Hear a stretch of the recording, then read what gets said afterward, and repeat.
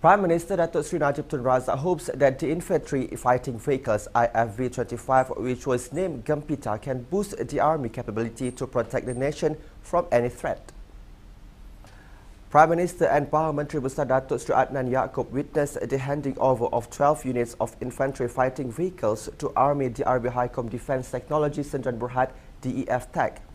The handing over of 8 Type 8 vehicles was performed by Managing Director of the Arab Hicom Group, Tan Sri Muhammad Kamil Jamil, to the Army Chief General Tan Sri Raja Muhammad Afandi Raja Muhammad Noor. The IFV-25 is the first variant out of 12 variants of fighting vehicles developed and produced by DEF Tech factory in Pekan Pahang.